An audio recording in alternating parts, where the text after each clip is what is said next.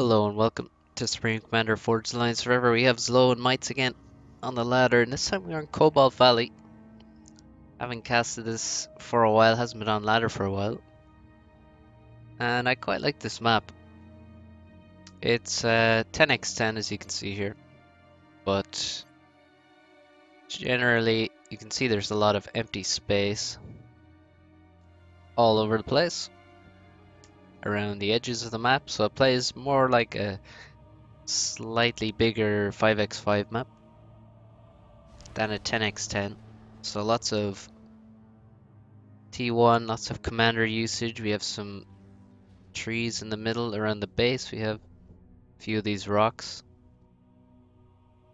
See, both players get three of them, and then there's some trees and some tiny rocks as well, and some medium-sized chunks. So the build order is low. Made a PGen. He's going to build a Mexus. He has a lab out. The first engineer is going to the Hydro. So I don't know if he needs to make this PGen if his first engineer is going to the Hydro. He might not not investing in the PGen until after. We have only three PGens queued up, and we have an air factory and four more land factories. And a lab from him as well, third lab, followed by a scout. No scout for Zlo's lab. We have another lab as well, so these are quite late. This second lab is kind of late. From Maitz. There's likely to be a striker around by the time it gets to its destination, but we shall see. He has a scout with both of his labs. And he hasn't got any of the reclaim. Let's see what the build order is like. See, he still has good balance. Can leave his commander there for another little while. Zlo has almost depleted all of his first resources, and he's going first, second, and third land. It's just now running out of mass. Needs these uh, chunks of chunks of reclaim. And you can see when his mass bar hits zero, he starts moving away. He'll probably continue building now. Yeah, you can see he just walks while his... So he doesn't stall mass and uh, delay engineers and tanks out of his factory. This is an engineer. This is an engineer. Come back to me. Come back.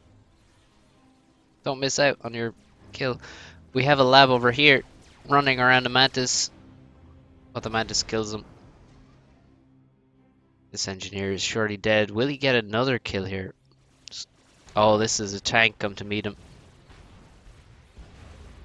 And in three shots he's dead. So we have one kill, one engineer kill from all those labs. Oh, maybe we'll get another one. Striker is hightailing it over to the right to uh, make sure this engineer is safe. And the scout is looking to see where the lab is going. See, microing the land scout. He sees the the lab, knows exactly where it's going. Some uh, power overflow from from Zlo. He's going T2 land already. Very, very fast T2 land. He's also assisting that factory. Maitz just going to go for that. Add the spam. Stay on T1 as you would expect a lab just finishing off this semi-built mex. And we have the air factory. First thing out is a scout and an inti, which is kind of interesting. I think he went third air, I would guess a third air. I'm not totally totally sure. So he should have seen now, you can see quite clearly that the building is upgrading this uh, health, health bar. Can see even how far along the upgrade is, and now the bomber's coming in. We already have, so that's a problem with going for the air, the Inti and the Scout. He's already got two uh, anti-airs out of low. and now he's going to send the bomber in. So the bomber is likely to die, but actually they're in the wrong place. They're not in the base. There's not nothing in the base to defend. Uh, that's two kills, and it's gonna slow down the the production from Zlo. On the right, there's five tanks moving in on three, and that's not a good equation for Zlo. Some reclaim helping out, steals the mass of one mantis. Get what you can. And over here, these two mantis don't know that there's tanks here with a scout. Another bomber coming. The first one was killed, but you can see that some dead engineers. And now there's an interceptor out for Zlo. Zlo's still very low in power. He only has three P-gens. And that's probably, he probably has enough even. Probably not. Uh, not quite. He's struggling for power right now. And he has, he's had to invest in a lot of anti-air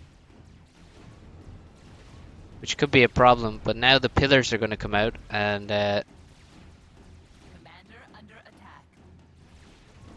there's not much Mantis. Well, it's very difficult for Mantis to do much versus uh, pillars. Probably gonna. We need to see uh, another support factory. I think there's so much mass for Zlo. Because he's lost those engineers to the bombers, he's having trouble spending his uh, his mass. Look at Maitz. Much nicer eco balance. I mean, still some overflow. I mean, uh, storage would be probably pretty nice right now.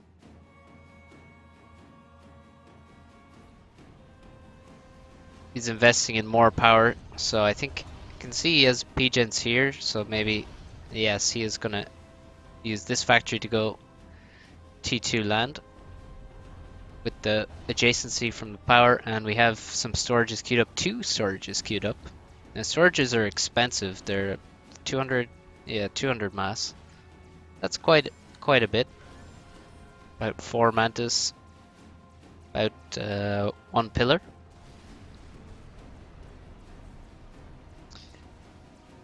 Now the pillars across the map are going to be pretty deadly.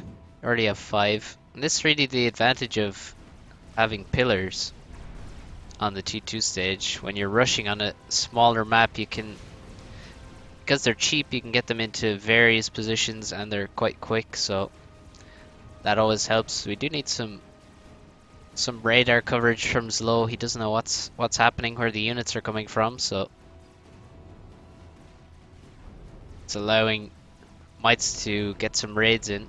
Have a nice PD here. Which helped the uh, T2 transition by defending some raids. Two pillars in this army easily take on a small army of Mantis. Maitz does have the economy advantage in generated mass because of a couple of raids here. But overall, very even game. Bomber seems to be trying to kill a mix. And we have storage, so we should see these pillars get overcharged by Maitz. Although this one, it's probably best to just uh, shoot it to death, so you leave the reclaim. and just grab that 160 mass. So Maitz with uh, not a very powerful army. He has two rhinos out now and about just under 30 mantis. Zlo. already has nine pillars out, but these raids are getting in because there's no no radar at all. So he's losing mexes. He lost this one, he's retaken it. He lost this one, now he's lost this one. This one is gonna die as well. And Maitz doing a pretty pretty nice push. He's gonna take these mexes for himself. Zlo countering his own push to deny some mexes and he can sort of cut off reinforcements here with his ACU and maybe send units around. There's not nothing to defend on the right here. There's a lot of damage could be done. We do have a radar in mid now as well. Two raiders. Ooh, three raiders. Uh, one just died over here. Zlo also sending some engineers to try and reclaim some stuff here.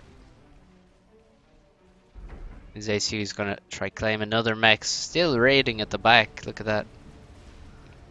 Poor Mantis got murdered.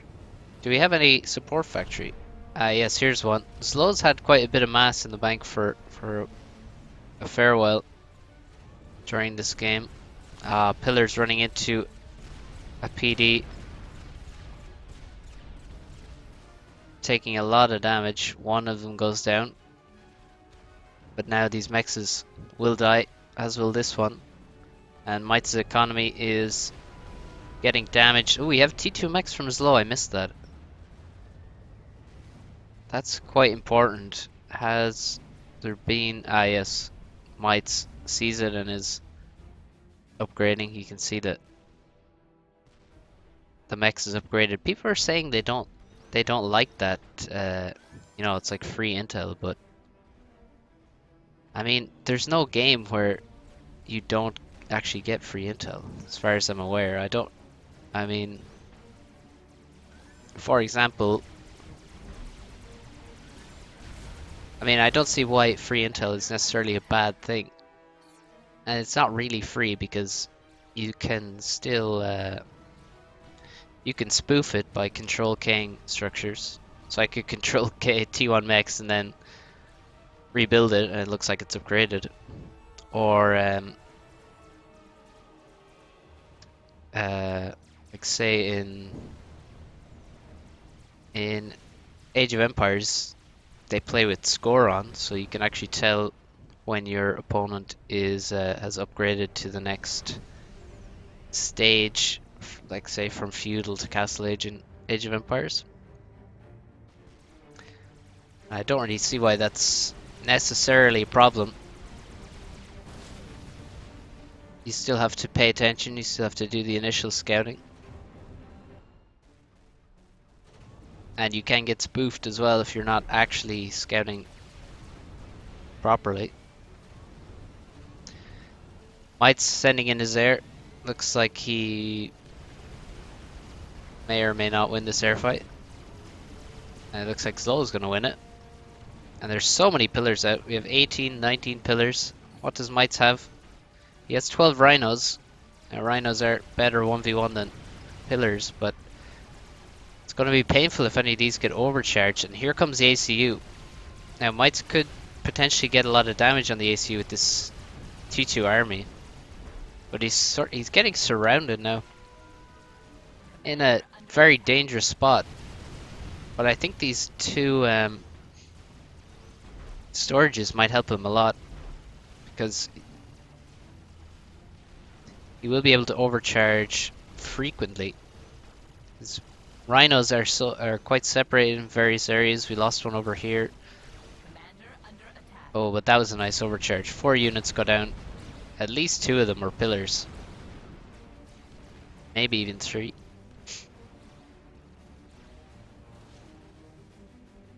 A problem with overcharge, of course, you don't get any reclaim, so that's a nice chunk to get. And we have quite a bit here, some T2 wrecks, dead pillars.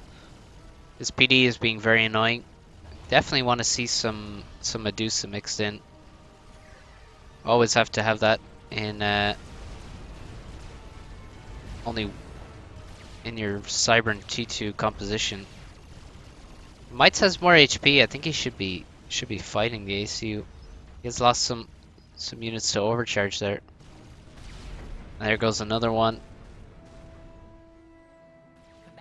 Zlo's focusing on getting this reclaim, and it's gonna do wonders for him. Look at all these wrecks that he's grabbing, and this PD is just so annoying. So rhinos obviously are absolute trash. Oh, he's actually hitting this time. And there, the overcharge finishes it. Zlo now with a full mass bar thanks to all that reclaim. If we look at the total reclaim, Zlo has 6, no, 5.3k versus only 2,000 for Maitz, so I think we can see where the game is being won or lost. Uh, what I would really like now is, especially for Maitz, would be an upgrade. He has so much, because these two storages, see, he just lets that build to 14 14k, and then the gun upgrade is 24k. So he has more than half of it in storage already, power-wise.